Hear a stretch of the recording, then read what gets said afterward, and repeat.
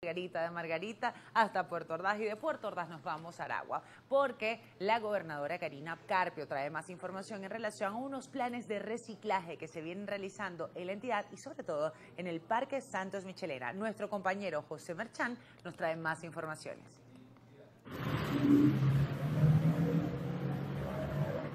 Hola Génesis, el saludo para ti y para todo el equipo del Solidario con la mano amiga desde el estado de Aragua. El tema de la ecología también es de importancia y es por ello que queremos presentarles el lanzamiento Tu Parque Recicla. Veamos.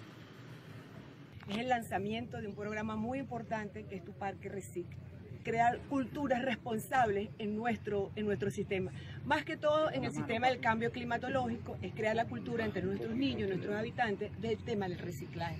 No estamos acostumbrados, pero imagínense ustedes, pueden ver a través de las imágenes lo importante que es el tema del reciclaje en una comunidad.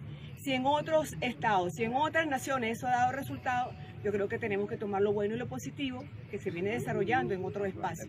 En el estado de Aragua nosotros tenemos zonas muy importantes que nosotros tenemos que ir eh, abordando con el tema de nuestros niños, ahorita que van a comenzar los colegios, y que sea el lanzamiento de este programa tan importante para nosotros poder, el punto y círculo y los protagonistas de este programa van a ser nuestros niños. Por su parte, el presidente de Fundaparques detalló lo entregado al equipo de la institución.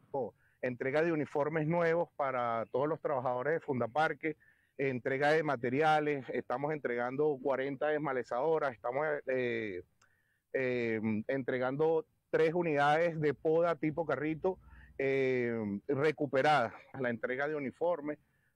Esta dotación, de acuerdo con las autoridades, es para atender a cinco parques estadales y también implementar la cultura de reciclaje en la sociedad aragüeña. Con esta información vamos a devolver el pase a los estudios de El Solidario con la mano amiga desde el estado de Aragua. Gracias a nuestro compañero José Merchán por traernos esa información. Un saludo para ti y para toda tu familia allá en ese lugar tan bonito. Pues nosotros con esto